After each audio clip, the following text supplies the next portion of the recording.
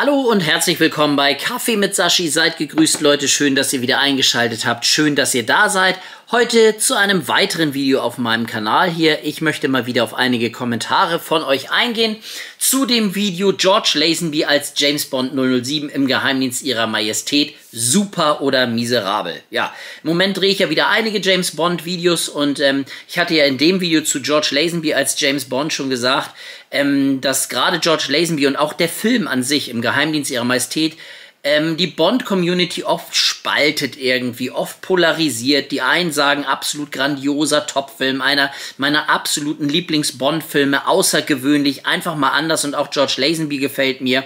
Und dann gibt es diese Fraktion, die immer wieder sagt auch, hm, diese Eintagsfliege, George Lazenby gefällt mir gar nicht, der kann nicht schauspielen irgendwie. Der Film ist auch komplett anders als viele andere, von daher kann ich damit nicht zu viel anfangen. Es gibt nur ganz wenig, habe ich zumindest für mich immer so das Gefühl, die sagen, ja, so ein mittelmäßiger Bond, den gucke ich, er stört mich nicht großartig, ist aber auch nicht top. Und ich bin jetzt einfach mal gespannt in den Kommentaren, ähm, ob der Film bei euch in den Kommentaren genauso polarisiert. Ja, ich habe hier praktisch meinen Laptop stehen. Ich werde gleich ähm, die Kommentare unter dem Video vorlesen und auf jeden Kommentar so ein bisschen eingehen. Vorweg möchte ich aber noch mal etwas öffnen. Das lag heute im Briefkasten.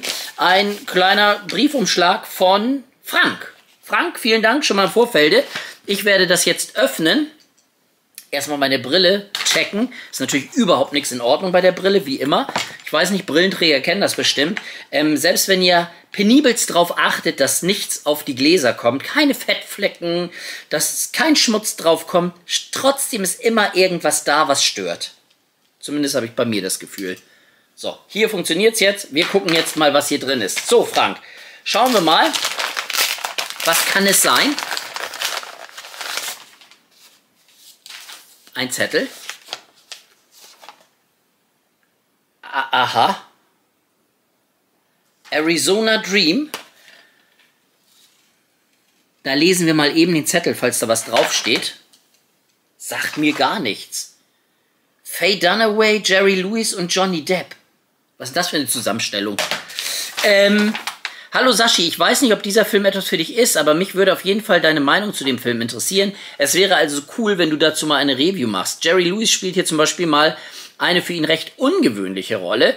Und auch die Rolle von Faye Dunaway, Johnny Depp und Lily Taylor sind recht ungewöhnlich. Bei Vincent Gallo, Gallo, Gallo, Gallo, Gallo, kann ich jetzt nicht beurteilen, weil den kenne ich sonst kaum. Ja, ich auch gar nicht, deswegen habe ich wahrscheinlich auch seinen Namen jetzt dreimal falsch ausgesprochen. Hast es schon mitgekriegt, ne? Ähm, weil den kenne ich sonst kaum. Ich habe den einmal irgendwo anders gesehen und da hat er nur einen ganz kleinen Auftritt. Arizona Dream ist insgesamt einfach ein sehr ungewöhnlicher Film, den man meiner Meinung nach aber trotzdem durchaus etwas abgewinnen kann. Aber das muss auch jeder für sich selbst beurteilen und mich würde einfach mal interessieren, was du davon hältst. Falls du den Film nicht magst, ist das auch überhaupt nicht schlimm. Vielen Dank, dass das da nicht schlimm ist. Mit freundlichem Gruß, Frank. PS, mein YouTube-Name ist übrigens... Ach, Mr. Frankie L. Mr. Frankie L. Mensch, Du kommst doch bestimmt da auch heute noch vor in den Kommentaren nachher bei diesem Video hier. Ähm, PPS, ich habe mir den Film inzwischen neu auf Blu-ray gekauft und kann die DVD daher problemlos abgeben. Ich bin sehr, sehr gespannt. Arizona Dream, ja, allein schon das Cover sieht sehr ähm, außergewöhnlich auch aus, oder, Leute? Visuell kraftvoll inszeniert und exzellent besetzt mit Johnny Depp, Faye Dunaway, Vincent Gallo und Jerry Lewis. Der New Yorker Stadtfischer. Stadtfischer? Was fischt der in der Stadt? Im Gully oder wo fischt der? Oder im See oder im Fluss? Werde ich ja sehen, wenn ich den Film sehe. Wird im Suff von Paul zur Hochzeit seines Onkels Leo in die Einöde Arizonas geschleppt. Sein anfänglicher Ärger über den unfreiwilligen Ausflug in die Pampa ändert sich jedoch, als er die exzentrische Dorfwitwe Elaine und deren depressive Stieftochter Grace kennenlernt. Also da bin ich wirklich gespannt. Das hört sich sehr interessant an. Äh, tatsächlich mit ähm, Jerry Lewis und seinen alten Film kann ich ja gar nichts anfangen. Äh, die funzen bei mir überhaupt nicht. Äh, schauen wir einfach mal. Vielen, vielen Dank, ja, lieber Frank. Reimt sich auch noch. Vielen Dank, lieber Frank. Ähm, wird auf jeden Fall in meinem Format Filme geschaut und beurteilt kommen. Danke, dass du an mich gedacht hast. So Leute, ich hoffe, ihr habt euer Lieblingsgetränk an der Seite stehen, so wie ich meinen brühend heißen Kaffee. Ich hoffe, ihr habt es euch jetzt bequem gemacht, vielleicht euch ein bisschen was zu knabbern geholt, macht es euch ganz gemütlich, lehnt euch zurück auf Couch, Sessel, Stuhl, Bett äh, Urlaubsliege.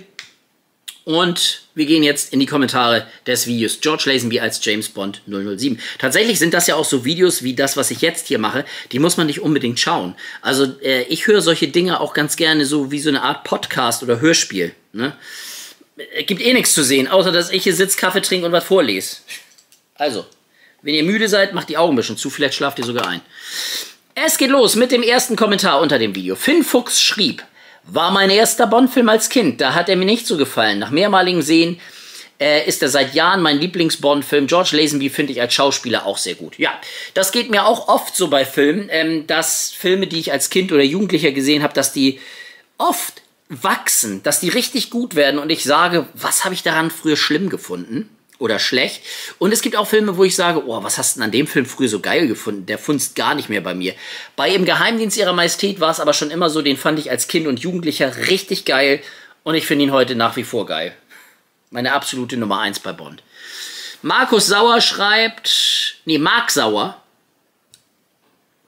schreibt mega. Der Film, der Darsteller oder das Video von mir? Ähm, dann schreibt TH3 Phil 12. Ich muss sagen, ich schaue die komplette Bond-Reihe gerade zum ersten Mal komplett und war mehr als froh, als dieser Film vorbei war. Ich fand, dass er wirklich kein gelungener Bond war und war froh, dass im nächsten Teil wieder normal weiterging. Mmh, normal weiterging. Was ist normal? Also, tatsächlich muss ich sagen, so eine Filme wie Dr. No, Liebesgrüße aus Moskau, Goldfinger, die sind für mich James Bond relativ normal. Allerdings Diamantenfieber ist für mich ein ultra schwacher James Bond Beitrag. Wirklich. Ein absolut hanebüchenes, verwirrendes Drehbuch mit diesen ganzen Doppelgänger, Diamantenschmuggel, Megaplan von Blofeld, äh, wieder Doppelgänger, dann dieser Millionär, der in seinem Penthouse gefangen wird, äh, äh, gefangen gehalten wird, äh, besser gesagt in diesem anderen Haus in der Wüste und Blofeld gibt sich als er oben aus. Also was man da alles ins Drehbuch ähm, reingeballert hat, äh, ganz schlimm. Ich finde, der Film ist absolut ideenlos, vollkommen ideen- und überraschungslos. Wir haben einen Sean Connery, der zurückgeholt wurde für Diamantenfieber. Warum? Warum? Der Mann macht es nur für Geld. Man merkt es leider Gottes. Ich liebe Sean Connery. Er ist einer meiner absoluten Lieblingsschauspieler. Er kann so viel.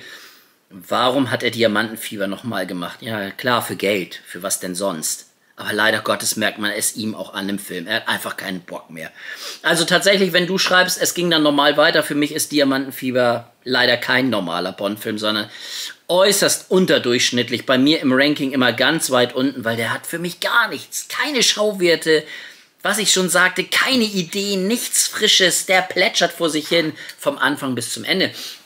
Und man muss sich das mal reinziehen. Diamantenfieber hat Guy Hamilton als Regisseur an Bord. Das ist derselbe Regisseur, der Goldfinger gemacht hat. Und wie geil hat er den Film inszeniert. Auch in Diamantenfieber gibt es einen Countdown, der so runterzählt. Ja, damit dieser Laser dann irgendwelche Städte da trifft. Es kommt nicht halbwegs so spannend rüber wie der runterzählende Countdown in Goldfinger in Fort Knox. Überhaupt nicht. Also Guy Hamilton auf ganzer Linie in diesem Film wirklich nichts Herausragendes gerissen. Dann Jill St. John als Tiffany Case. Eins der schlechtesten Bond-Girls aller Zeiten. Blofeld, Charles Gray. Nein, nicht wirklich. Tatsächlich, ähm, das Einzige, was ich an dem Film immer gut finde, und das finden alle anderen immer schlecht, oder viele andere, sind Mr. Win und Mr. Kid, dieses Killer-Duo. Die finde ich echt cool. Das ist der einzige Lichtblick für mich in dem Film. Okay, gut, aber so hat natürlich jeder seins, ne? So hat jeder seine Vorlieben und genau das liebe ich so im Bereich Film und im Bereich gerade dieser Franchises wie James Bond, Star Wars, Indiana Jones. Hm? Ist einfach so. Dann haben wir äh, Carsten Kolok oder Kolotsch. Ich sage einfach Carsten. Mir hat dieser Film sehr gut gefallen. Top. Gruß. Gruß geht zurück. Dann haben wir Lucas Skywalker. Für mich ist Lazenby okay. Er hatte natürlich auch einen schweren Job, in Connerys Fußstapfen zu treten und war somit der erste andere Bond. Bei uns hat man ihm dann sicherheitshalber direkt die gleiche Synchro verpasst. Ja, Gerd Günther Hoffmann, der ja auch schon ähm, Sean Connery synchronisiert hatte, zumindest von Liebesgrüße aus Moskau an bis zu Man lebt nur zweimal und dann ja auch nochmal ein Diamantfieber und sagt niemals nie. Ähm, in Dr. No war es ja noch Klaus Kindler, ne? Lazenby hatte das Glück, in einem der besten Bond-Filme spielen zu dürfen, mit der besten Bond-Musik überhaupt. Dennoch würde ich sagen, im Geheimdienst ihrer Majestät, trotz Lazenby, einer der besten Bond-Filme. Gerade in der Schlussszene ist der schauspielerisch schon merklich überfordert. Da wäre Connery, glaube ich, deutlich besser gewesen. Fazit, äh, Lazenby macht seinen Job recht ordentlich, nicht mehr, aber auch nicht weniger. Ähm, ich glaube tatsächlich, dass Sean Connery schon an seine Grenzen gekommen wäre mit diesem Film. Ich glaube. Wir müssen uns alle lösen von dem Gedanken, hätte ein Sean Connery weiter den Bond gespielt, dass es diesen Film in der Art und Weise so gegeben hätte. Es wäre nicht passiert, weil Sean Connery den Bond ganz anders gespielt hat. Ja? Hier hat man ja wirklich Wert gelegt, die Bond-Reihe wieder zu erden, weg von diesem ganzen technischen Spielkram wie in Noch man lebt nur zweimal, mit diesem Vulkan und Little Nelly und was weiß ich nicht alles. Hier haben wir es ja mit einem sehr geerdeten, realistischen James Bond zu tun, der auch mal Gefühle zeigt. George Lazenby. Macht er hervorragend. Viele sagen immer, der, der agiert oder schauspielert wie ein Stein oder wie ein Brett. Irgendwas Lebloses. Ähm, Stück Ton. Für mich nicht. Also er passt vollkommen rein. Er spielt die Sensibilität eines Agenten, der trotzdem hart ist, ein harter Hund, ein Killer. Trotzdem sieht man die Sensibilität in einigen Szenen bei ihm. Und ich glaube, mit einem Sean Connery hätte dieser Film so nicht existiert. So wäre der nicht gewesen.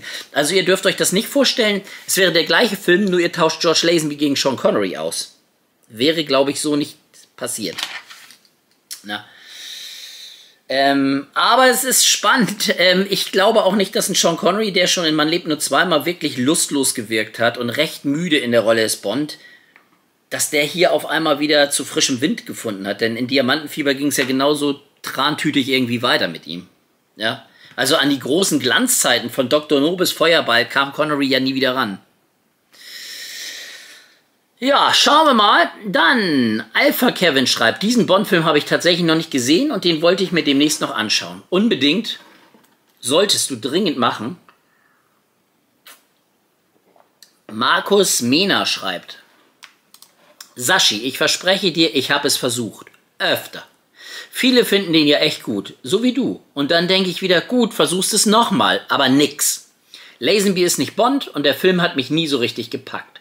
Leider ist die großartige Diana Rick hier völlig verschenkt, schade. Das einzig Gute ist, dass Gerd Günther Hoffmann den Bond spricht und wenn du die Augen zumachst, hast du James Bond. Die beiden schlechtesten Bonds sind Die Another Day und No Time to Die. Und dann kommen die drei Filme mit den nicht James Bonds, Lazenby und Dalton.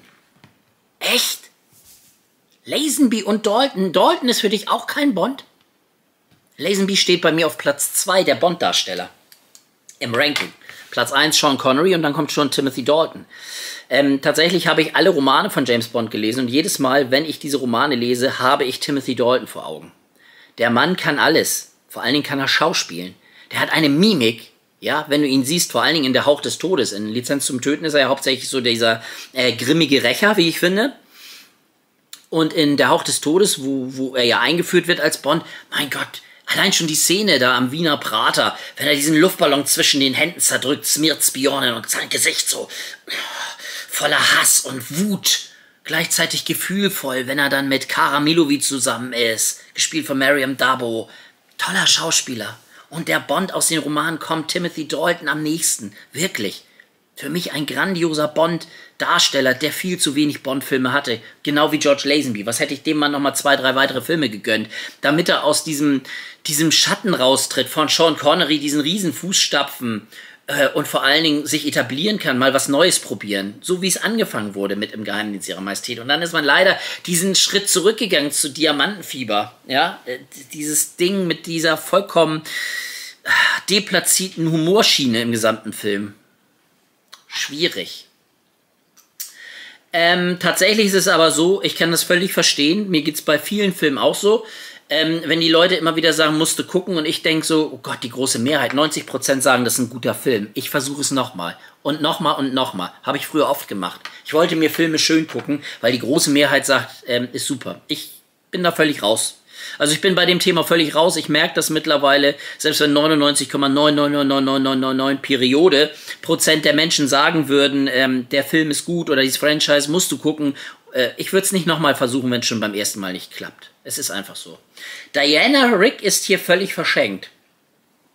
Sehe ich gar nicht so, weil ich finde, Diana Rick ist meine liebste Bond-Lady. Ist immer auf Platz 1 im Ranking aller Bond-Ladies. Ich liebe diese Frau. die ist verknallt in Bond. Am Anfang will sie sich umbringen. Irgendwie ist durch Selbstzweifel und falsches Selbstbewusstsein, teilweise schon Arroganz Bond gegenüber, völlig benebelt durch ihre Psyche, kommt im Buch noch viel besser rüber als im Film.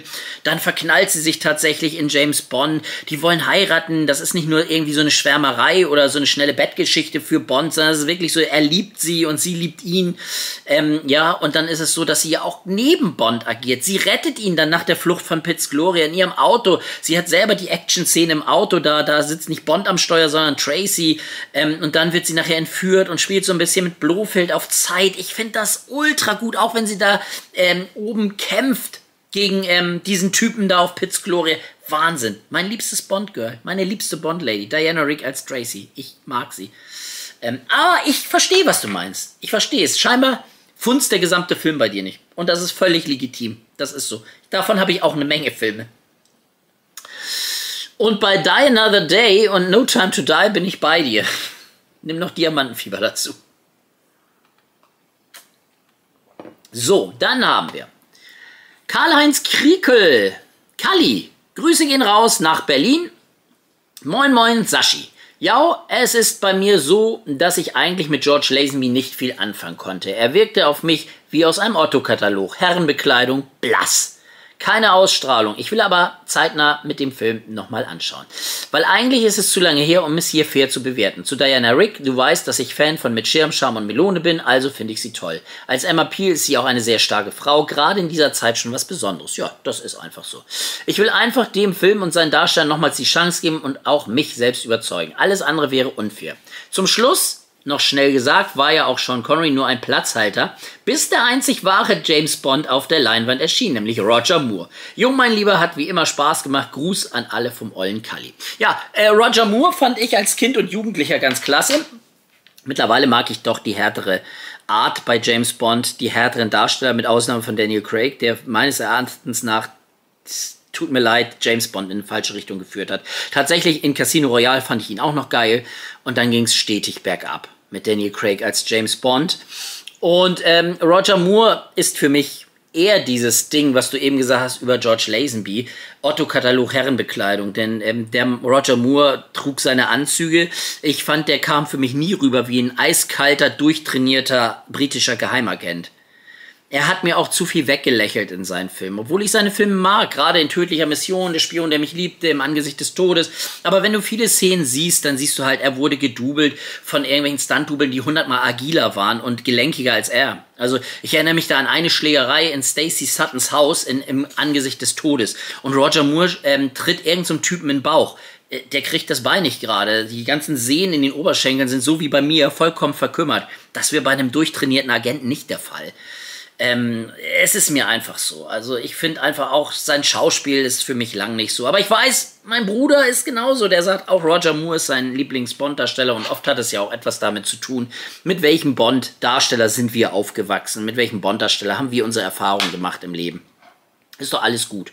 Im Grunde kann ich mit jedem Bond-Darsteller irgendetwas anfangen, nur mit einem nicht. Nicht so viel. Aber das liegt auch gar nicht vielleicht so sehr an ihm, sondern ähm, in die Richtung, in die die Serie dann ging. Ja, Grüße gehen zurück. Dann haben wir Andreas Gebhardt. Guten Morgen, Sashi. Vielen Dank für das Video. Du sprichst mir mit jedem Wort aus der Seele. Schaue diesen Bond-Film immer an Weihnachten. Das geht mir genauso. Toller Soundtrack, tolles Bond-Girl, tolle Atmosphäre, tolle Aktion, äh, Action und ein sehr guter Bond-Darsteller. Ich könnte mir keinen anderen für diesen Film vorstellen. Ja, ich auch nicht.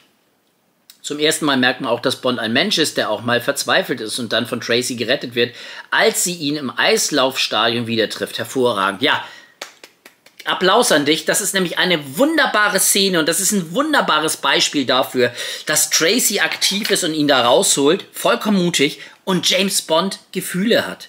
Denn Bond sitzt da am Rande dieser Eisbahn guckt immer nur aufs Eis, weil er nicht gesehen werden darf von den Schergen von Blofeld, die ihn suchen, schlägt den Kragen hoch und wir sehen in Lazenbys Gesicht richtig, dass er doch ein bisschen Furcht hat, Angst hat, entdeckt zu werden. Tolle Szene, herausragend, toll, dass du die hier gebracht hast. Für mich ist und bleibt im Geheimdienst ihrer Majestät der beste Bond-Film, den ich je gesehen habe. Ganz tolles Video. Mr. Frankie L., da haben wir ihn. Da bist du ja. Frank. Mich haben ein, Dinge, ein, paar Dinge in Geheimdienst Ihrer Majestät leider extrem gestört. Zum Beispiel hätte er nie den Satz sagen dürfen, das wäre dem anderen nie passiert. Er spielt ja genau den gleichen Bond. Aus Filmsicht gibt es also gar keinen anderen.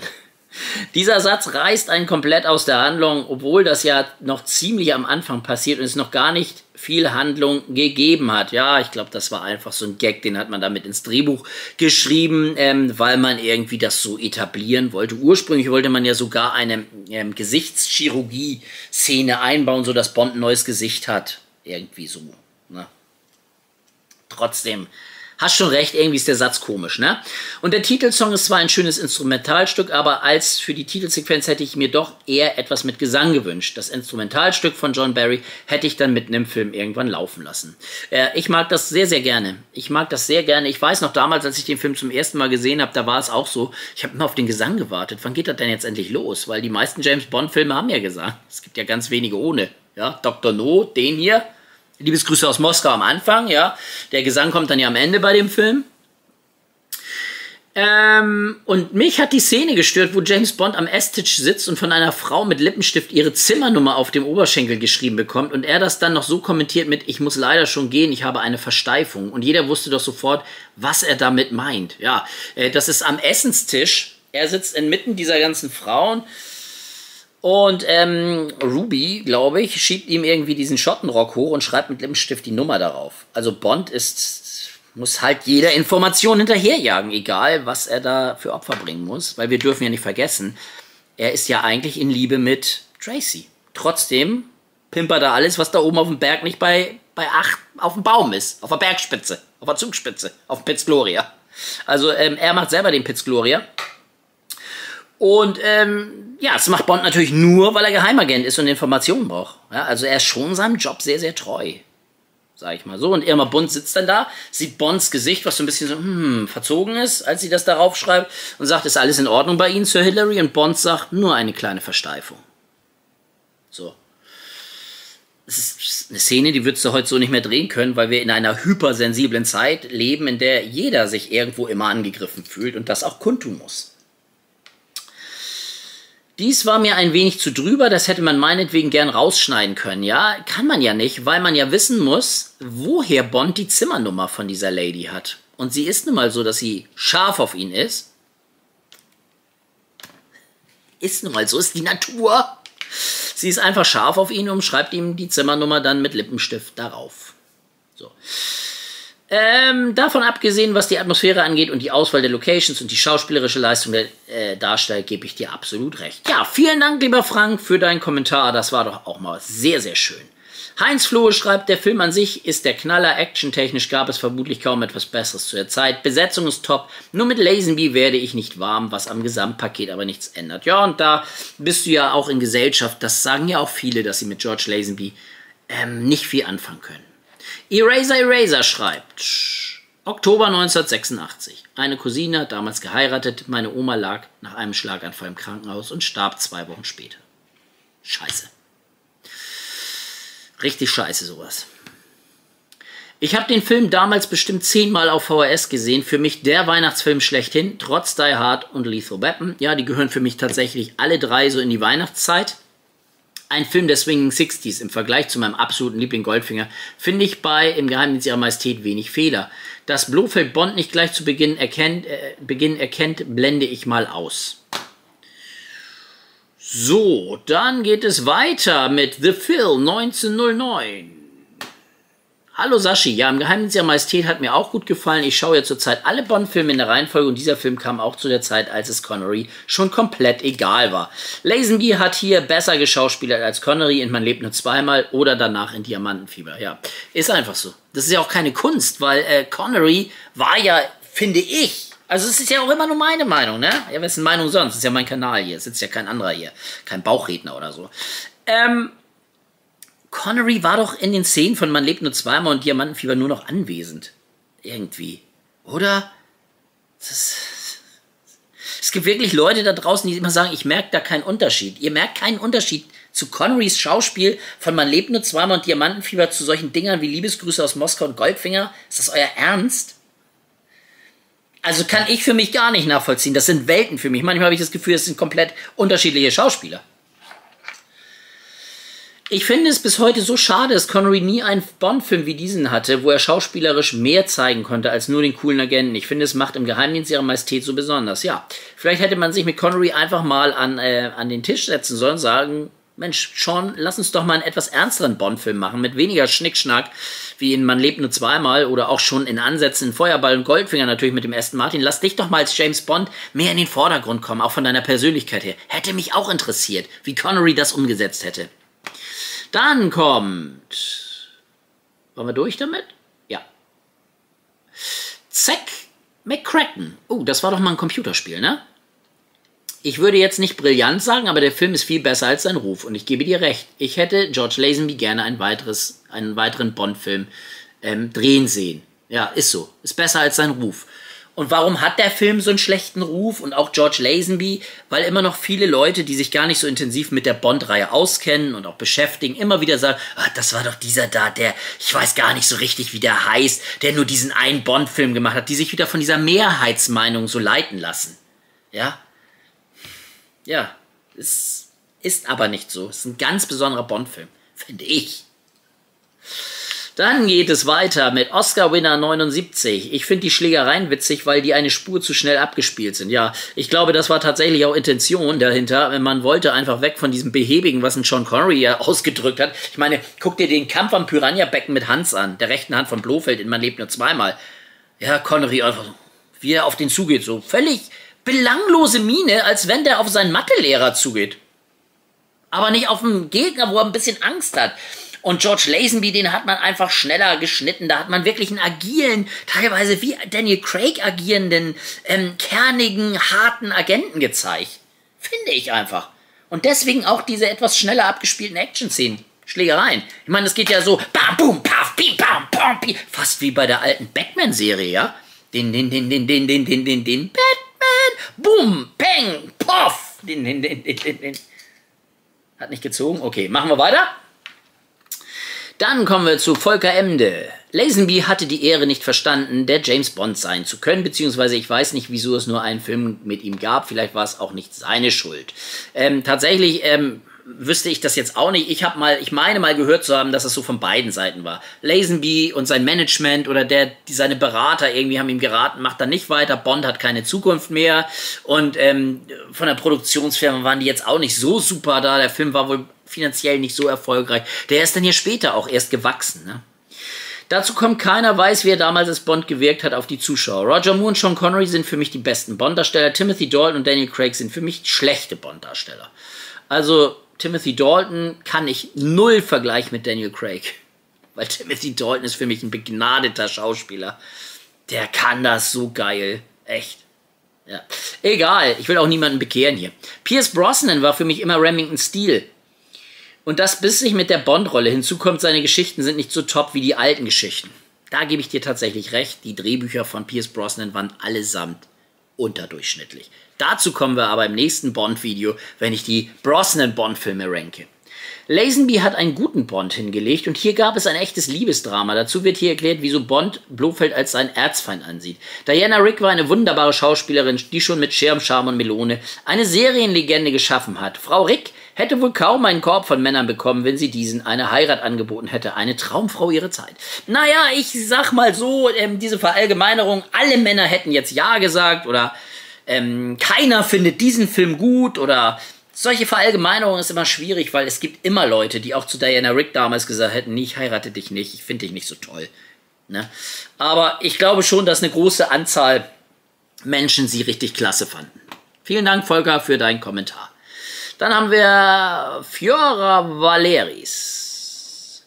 Ich mag den Film. Blofelds Plan erschließt sich mir zwar nicht so ganz, aber das Finale war nicht umsonst Vorbild für Christopher Nolans Inception. Ja, da musste ich auch gleich denken, äh, dran denken, als ich Inception gesehen habe, ne, an Im Geheimdienst ihrer Majestät. Ja, Blofelds Plan, der will praktisch, der hat die Frauen da hypnotisiert, der gibt ihnen so Parfümzerstäuber mit und da ist dieses Virus drin, was die auf Befehl, wenn er nicht das Geld kriegt, was er verlangt, versprühen sollen und dadurch die Menschheit ausrottet. Unfruchtbarkeit und so weiter und so fort. Das ist ja das Geschenk, was er Bond macht am Heiligabend, wo er ihm seinen Plan eröffnet. Was für ein geiles Weihnachtsgeschenk. Super. Was Besseres hätte ich mir auch nicht denken können, dass Blofeld mir seinen Plan irgendwie erörtert und ich bin der Geheimagent, an dem jetzt alles hängt, das zu vereiteln und das an Heiligabend. Vielen Dank. Ähm, Diana Rick hat höchstens noch durch Barbara Bach oder Michelle Yeoh Konkurrenz. Michelle Yeoh? Die Konkurrenz für Diana Rick und Barbara Bach? Oh, echt? Das ist die Michelle Yeoh als Violin aus Der Morgen stirbt nie, ist für mich nicht mal eine richtige Bond-Lady. Für mich sind das eher Buddies. Bond und sie. So wie Roger Murto und Martin Riggs in Lethal Weapon. Das ist äh, tatsächlich finde ich auch diese Szene am Ende von der Morgen stirbt nie absolut befremdlich, wenn Pierce Brosnan und Michelle Yeoh äh, in diesem Schlauchboot da rumknutschen auf einmal. Es bahnt sich nie an. Im gesamten Film wird nicht einmal angedeutet, dass die sich ineinander verliebt haben. Für mich ganz schlecht, ganz schlecht. Ich finde sogar der Morgen stirbt nie hat gar keine richtige Bond Lady. Ja, Terry Hatcher wird irgendwie nach einer halben Stunde aus dem Film genommen und dann kommt Michelle Yeoh und die kämpft Seite an Seite mit Bond, wie so ein Buddy. Das ist genauso, als wenn Roger Murdo und Martin Riggs sich auf einmal am Ende des Films knutschen. Für mich immer. Für Michelle Yeoh würde ich jetzt eher einsetzen Carole Bouquet als Melina Havelock aus In tödlicher Mission. Die fand ich auch noch sehr gut. Probleme gibt es manchmal mit Georgie Schauspiel, aber eben nur manchmal. Der Kerl war bis dahin Model und hat das Schauspiel im Grunde durch den Film gelernt und die Szene, wo er rumsteht, die Szene, wo er rumsteht und wie bestellt und nicht abgeholt wurde, wahrscheinlich zuerst gedreht. Szenen, wo er rumsteht, wie bestellt und nicht abgeholt? Was sind das für Szenen? Schreibt mal bitte rein, ihr. Würde mich echt interessieren. Und der Soundtrack ist einfach ein Ohrwurm, hab den wochenlang nicht aus dem Kopf gekriegt. Ja, das geht mir auch so. Ähm, tatsächlich ähm, bei Liedern oder Soundtracks, Songs irgendwie, gerade was im Bereich Musik ist und ich kriege das nicht aus dem Kopf, höre ich dann. Bis zum Abwinken höre ich das und dann kann ich es irgendwann nicht mehr hören. Aber dann ist der Ohrwurm auch weg. Marva68 schreibt, für mich ein super Bond-Film war für mich damals der erste Bond-Film, den ich gesehen habe. Der Film hat eine tolle Atmosphäre, die Locations, der Soundtrack, die Schauspieler, alles top. Auch Lazenby fand ich gut. Ich hätte mir auch gewünscht, dass er noch länger dabei geblieben wäre. Zu Weihnachten schaue ich ihn mir immer wieder an. Vielen Dank, Marva. Geht mir genauso. Thomas Kummer schreibt, Top-Film, keine Frage. Lazenby hat es schon auch ganz gut gemacht und dafür, dass er keine Erfahrung hatte. So ist es. Frank Zito Original schickt zwei Daumen nach oben. Vielen Dank. SOS Bernede schreibt, es gibt zwei Filme, die für mich so wertvoll sind, dass ich sie mir so gut wie nie ansehe. Einer ist im Geheimdienst ihrer Majestät. Daraufhin habe ich geschrieben, unter seinen Kommentar, sie sind so wertvoll, dass du die fast nie schaust. Wie kann ich das verstehen? Also das habe ich nicht verstanden. Es gibt zwei Filme, die sind für mich so wertvoll, dass ich mir sie so gut wie nie anschaue. Also die Filme, die für mich wertvoll sind, die schaue ich im Jahr manchmal zweimal. Vielleicht kannst du es ja nochmal reinschreiben, was du damit meinst. Ich habe leider keine Antwort bekommen. Es ist oft so, dass ich auf Kommentare äh, äh, reagiere und ich stelle eine Frage und ich höre nie wieder was.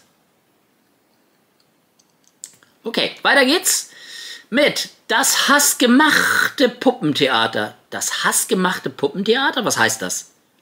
Das Hassgemachte oder das Handgemachte oder wie?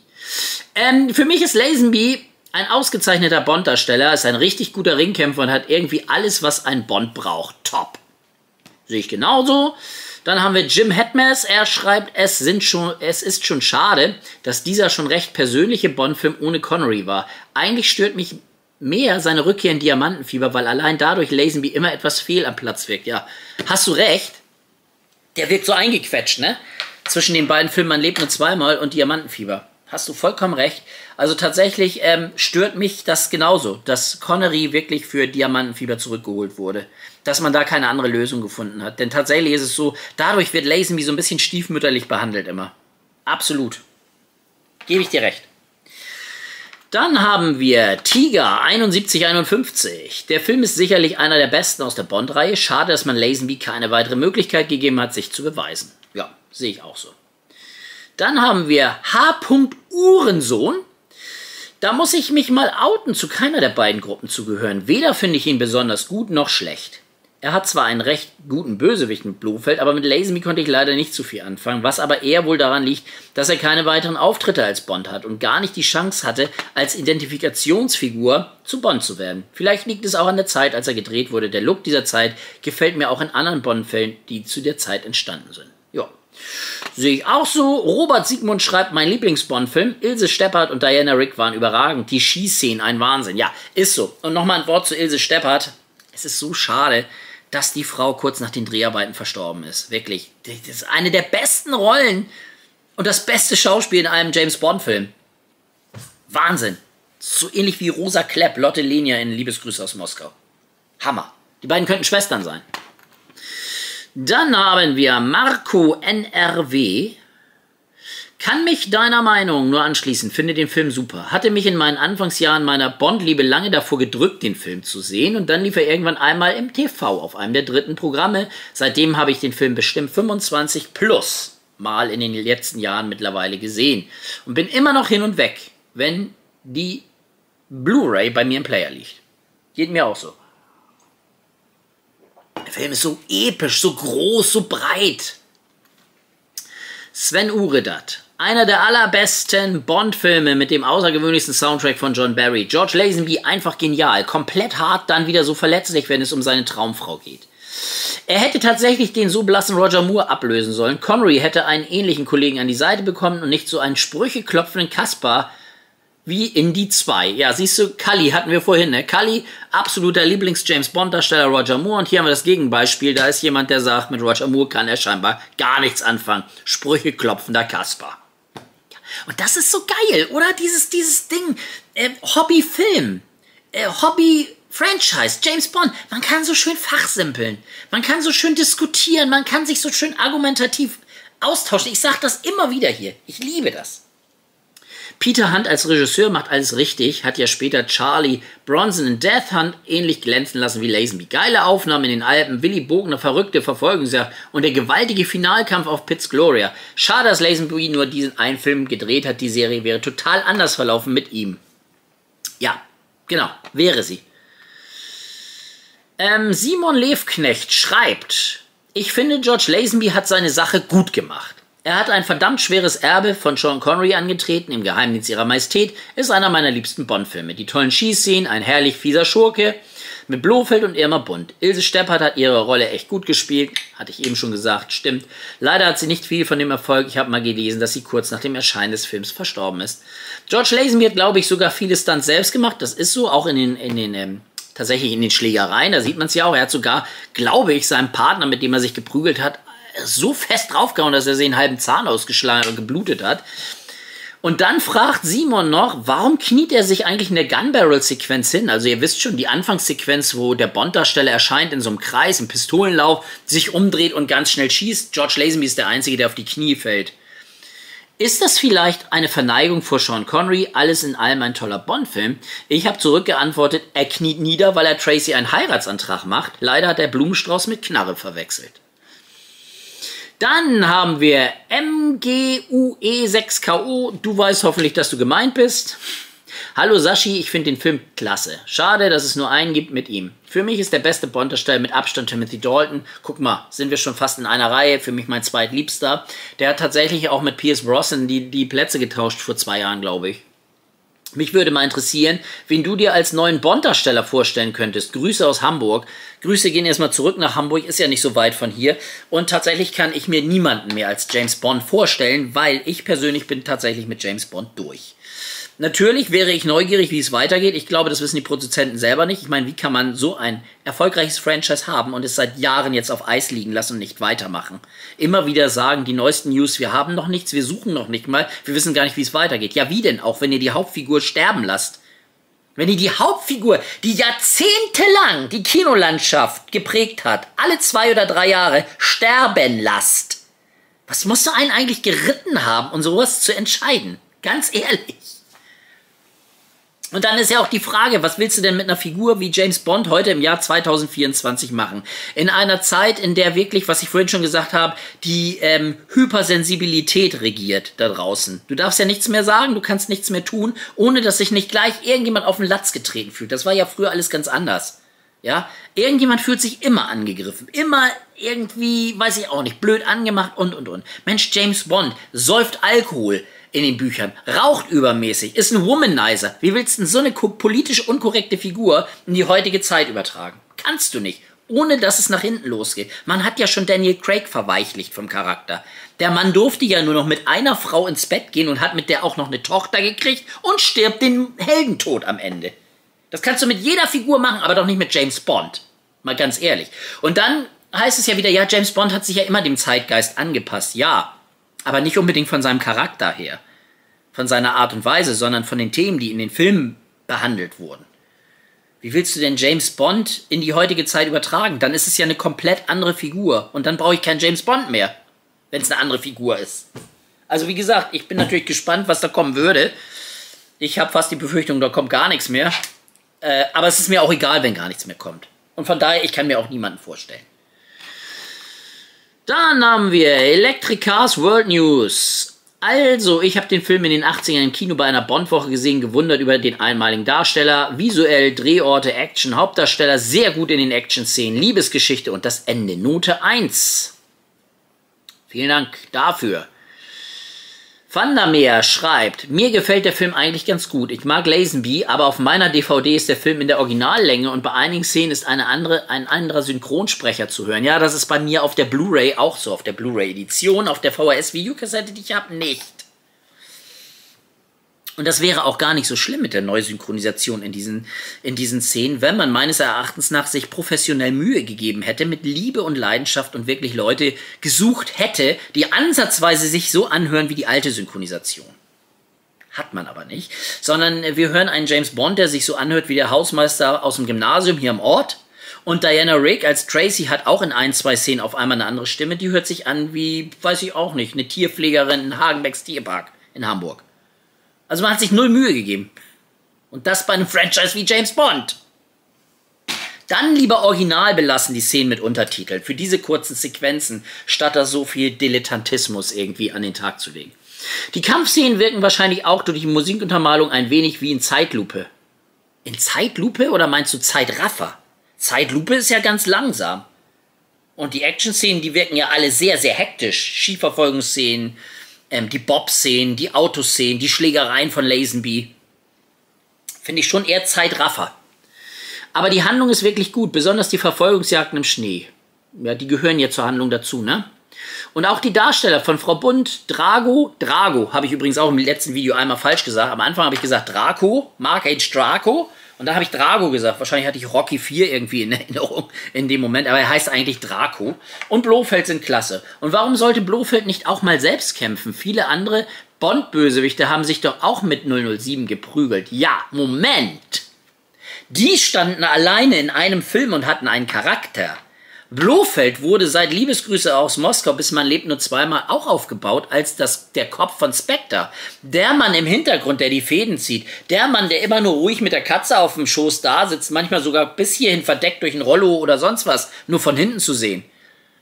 Stell dir mal vor, ein Donald Pleasance auf Skiern. Ich meine, ähm, Blofeld wirkt ja so, als hätte man hier ihm einen komplett anderen Charakter äh, ins Gehirn gepflanzt. Ähm, darum geht's mir nur. Klar, andere Bond-Böse beulen sich mit Bond. Ein Zorin zum Beispiel auf der Brücke, aber der hat ja auch diesen Charakter vom Anfang bis zum Ende des Films und taucht nicht in weiteren Filmen auf und ist dann auf einmal ganz anders. Mir ging es halt um diese Typveränderung eines Blofeld. Nur in einer Szene, der traurigen Sterbeszene von Diana Rick, die bei meinen Bond-Girls auf Rang 2 landet, aber trotzdem super und vor allem nicht auf den Mund gefallen ist, hätte Bond durchaus auch ein wenig weinen können. Soll beim Drehen sogar vorgekommen sein, aber wurde dann nicht verwendet. Ja, genau, das wird auch im Making-of gesagt, äh, auf der Blu-ray.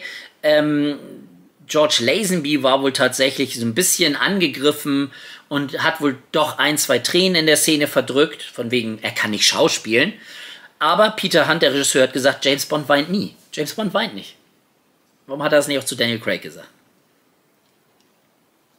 So, weiter geht's mit A. Köpke. Im Geheimnis ihrer Majestät gehört in meine Top 3 der Lieblings-James Bond-Filme. Ich finde George Lazenby tausendmal besser als alle Daniel Craig Bond-Filme zusammen. Vielen Dank, du sprichst mir aus dem Herzen. Kurzer Applaus dafür.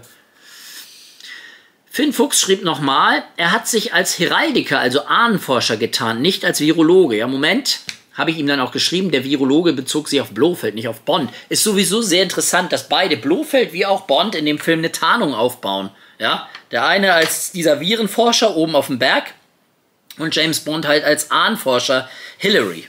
Sir Hillary? Hilly, nenn mich Hilly. Hilly! James Bond. James Bond halt. So, dann haben wir Henrik Stier. Ein absolutes Meisterwerk der Film. Lazenby schon in Ordnung. Nach meiner Erstsichtung stand er sogar auf Platz 1, mittlerweile fest auf Platz 2. Mag ich etwas an dem Film überhaupt nicht, das gibt es, da gibt es nur wenig. Die üblen Rückprojektionen fallen auf, finde ich, aber nicht schädlich. Die Schießszenen bleiben spektakulär. Sehe ich ja genauso. Ne? Was mich aber stört, ist die Synchro. Da zum einen Bond im Film die Stimme wechselt, wie auch schon im Original, das verwirrt total, und ich zum anderen bei Gerd Günther Hoffmanns Stimme sofort Connery vor Augen habe und dadurch sofort merke, dass es eben nicht Lazenby ist, der da spricht. Ja, das ist halt ein Fehler. Ne? Ich weiß noch, als der Film, als ich ihn das erste Mal gesehen habe, als kleiner Junge auf, auf der Couch, ähm, und mein Vater, hm, der hat in eine Zeitschrift geguckt und auf einmal fängt Bond an zu sprechen und dann guckt er irgendwann hoch und sagt, das ist doch nicht James Bond, der hat ja aber die gleiche Stimme. Das hat er aber sofort gemerkt. Gerd Günther Hoffmann hatte ja auch eine tolle Stimme, ne? Gute Synchronisation zeichnet sich aber dadurch aus, dass man eben nicht merkt, dass der Mann auf der Leinwand nicht selber spricht. Aber kaputt machen tut es mir den Filmgenuss nicht. Genau. So, dann kommt ein etwas längerer Kommentar von T. Damm. So, dann mal meine Meinung zu diesem Film. Für mich ist im Geheimdienst Ihrer Majestät weder eine absolute Gurke noch der beste Film der Reihe in meiner persönlichen Hitliste, die es eigentlich nicht gibt. Du hast eine persönliche Hitliste, aber eigentlich gibt es die nicht. Dann hast du ja eigentlich doch eine. Wäre der Film irgendwo im oberen Drittel gelandet, also unter den ersten zehn. Ich finde ihn nicht schlecht, aber so gut wie in tödlicher Mission, der Hauch des Todes, der Spion, der mich liebte oder Lizenz zu töten, ist er bei mir längst nicht. Im Geheimdienst ihrer Majestät habe auch ich damals erstmals im Fernsehen gesehen, nachdem er ab 84 die Bond-Filme erstmals im Fernsehen liefen. Ich wusste aus Nachschlagewerken schon, dass auch ein gewisser George Lazenby mal einen Bond-Film gedreht hatte, kannte ihn aber bis dato nicht. Meine Meinung zum Film hat sich nicht wesentlich geändert. Schon damals gefiel mir der Film recht gut. Er war nie auf den obersten Plätzen bei mir, aber ich habe ihn auch nie als den Stinker der Bond-Reihe angesehen. Irgendwie ist es bei Lazenby bei mir genau wie mit Timothy Dalton. Beide haben nur ein bzw. zwei Filme gemacht und es hätte mich so wahnsinnig interessiert, wie die beiden sich gemacht hätten, wenn man sie als Fan in vier oder fünf Filmen gesehen hätte. Das finde ich schade bis heute. Ja, geht mir genauso. Klartext, mein Interesse ließ stark nach und bis heute gibt es Bond-Filme mit Pierce Brosnan, die ich immer noch nicht gesehen habe. Ja, solltest du nachholen. Alles, was die Optik des Films betrifft, hast du im Video schon gesagt und ich hätte ihm wirklich nicht viel beizutragen. Auch ich finde die gesamten übrigen Darsteller hier sehr gut, die Geschichte an sich, die Umsetzung auf der Leinwand, Spannung des Films funktioniert trotz der Länge sehr gut. Äh, du bist ja immer bekannt dafür, sehr, sehr lange ähm, Kommentare zu schreiben. Das ist auch hier der Fall so. Was jetzt Lazenby selber betrifft, er macht das recht gut. In der damaligen Zeit wäre es für jeden Schauspieler schwer gewesen, diese Figur zu spielen nach Connery. Man darf dabei eines nicht vergessen. George Lazenby gab in seinen James Bond-Film sein Debüt vor der Kamera. Er hatte vorher nie als Darsteller gearbeitet. Bedenkt man das einfach mal, finde ich schon, dass Lazenby seine Sache gut macht als Darsteller ohne Erfahrung. Zwei Absätze noch. Dazu kommt eben, was du auch angesprochen hast, Connery war damals nach fünf Filmen für die Fans der echte und einzige James Bond. Jeder andere Schauspieler hätte es da schwer gehabt, seine Nachfolge anzutreten. Lazenbys Pech war es damals auch, dass sein Bond-Film an der Kasse nicht das einbrachte, was man sich erhofft hatte. Und als Connery Anfang der 70er wieder vermelden ließ, dass er noch Interesse hatte, war Lazenby natürlich raus. Naja, Connery musste man ködern. Der hat nicht bekundet, er hat wieder Interesse, sondern man hat ihm eine Rekordgage angeboten, damit man einen Bond-Darsteller für den nächsten Film hatte. Ähm, genau. Für mich auch ein Glücksfall bei diesem Film war, das hast du im Video bereits mehrfach angesprochen, der Regisseur Peter Hunt, der durch seinen Stil viel zum Gelingen des Films beitrug. Vorteil hier war eben auch, dass Hunt bereits bei Dr. No, Liebesgruß aus Moskau und Goldfinger Erfahrung am Schneidisches sammeln konnte und er dadurch natürlich auch lernte, wie man einen Film schnell und rasant schneidet und dennoch eine bedrohliche Stimmung und Spannung erzeugen kann. Ihm ging es aber leider genau wie George Lazenby. Das blieb sein erster Film als Regisseur. Hunt drehte übrigens später noch mit Roger Moore Gold und Brüll den Teufel an, die ich beide leider nicht kenne, würde ich aber gern mal sehen. Ähm, Peter Hunt, ja, war auch Cutter bei James Bond in den Vorfilmen. Damals war das tatsächlich wie so eine kleine Familie, die Bond-Familie. Es waren fast immer die gleichen Personen irgendwie da bei den Bond-Filmen. Das merkt man einfach. Das waren welche, die haben das mit Liebe gemacht. Dann haben wir Vorhang auf. Ganz nach dem Motto, sag niemals nie, möchte ich nochmal ein Lebenszeichen von mir geben, da James Bond ja auch unsere gemeinsame Kontaktperson war. Im Geheimdienst ihrer Majestät war damals mein vierter Bond-Film nach dreimal Roger Moore. Dieser andere hat zunächst komisch auf mich gewirkt, sowie auch die Machart des gesamten Films. Ich war 13 und einen anderen 007 gewohnt. Dennoch fand ich ihn einigermaßen gut.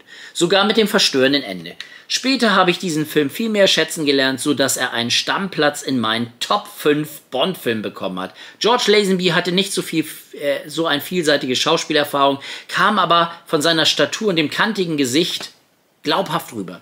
Mir gefällt er als James Bond sehr, wie viele andere Fans auch, hätte ich ihn gern in einem weiteren Film gesehen. Fazit, gute Darsteller, gute Geschichten, tolle Location, super Musik, bloß der Schnitt ist für mich in manchen Action-Szenen nur stümperhaft und die Rückprojektion, wie du schon sagtest, für mich ein Top-Bond. Schöne Grüße, Jochen.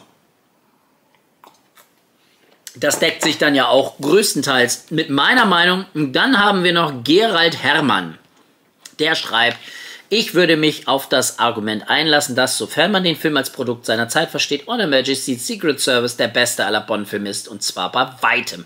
Natürlich hätten wir in diesem Film gerne Connery gesehen. Hm, das hatte ich ja schon gesagt. Ich glaube, ich bin eine der Ausnahmen, die Connery nicht gerne in diesem Film gesehen hätte. Zumindest nicht mit, ähm, mit dem Denken von damals und seiner Art, James Bond zu spielen, weil der Mann war erstmal durch nach Man lebt nur zweimal. Und in Diamantenfieber wurde es nicht merklich besser. Ich glaube, es wäre ein katastrophaler Film geworden. Und wie gesagt, er wäre nicht so gewesen unter Connery wie jetzt mit Lazenby. Aber Lazenby macht seine Sache brav, insbesondere wenn man versteht, dass er der Romanfigur Bond sehr nahe kommt. Ja, das ist so. Genau. Also Film, Top, Pantheon, Lazenby okay und Leute, vergesst Louis Armstrong nicht mit We have all the time in the world. Der Song, der übrigens für mich nur zu diesem Bond-Film gehört und nicht zu No Time to Die. Wie deplatziert wirkt bitte sehr dieser Song im Zusammenspiel mit Daniel Craig und Madeline. Wie hieß sie? Madeline Swan? Ja, ne? Irgendwie so. Schon wieder vergessen. Äh, wieso? Warum dieser Fans? Na egal. Äh, ich quatsch jetzt nicht über Daniel Craig. Der kommt dann in einem der nächsten Videos. Leute, das waren eure Kommentare. Ich scrolle nochmal kurz durch, auf die ich nochmal kurz eingehen wollte. Aber im Großen und Ganzen muss ich wirklich sagen, dass das ja dann doch größtenteils positiv ist, was den Film angeht. Und auch George Lazenby. Also da hätte ich jetzt echt gedacht, das ist polarisierender. Also, dass er da irgendwie negativer bei wegkommt. Keine Ahnung. Keine Ahnung. Ja. Klasse. Vielen Dank für die super Kommentare. Die James Bond Videos haben echt viele Kommentare immer. Finde ich ganz, ganz klasse. So, Leute. Und jetzt ähm, lasst mich wissen, ob ihr noch etwas hinzuzufügen habt in die Kommentare unten rein. Vielleicht wollt ihr noch was erklären. Äh, vielleicht wollt ihr mir noch mal antworten. Ich hatte ja auch ein, zwei Kommentare, wo ich darauf geantwortet und etwas gefragt habe, worauf ich keine Antwort erhalten habe. Vielleicht macht ihr es nochmal und holt es nach, um mich zu erleuchten. Ansonsten sage ich, Leute, bleibt gesund, schaut James Bond Filme und bis zum nächsten Mal.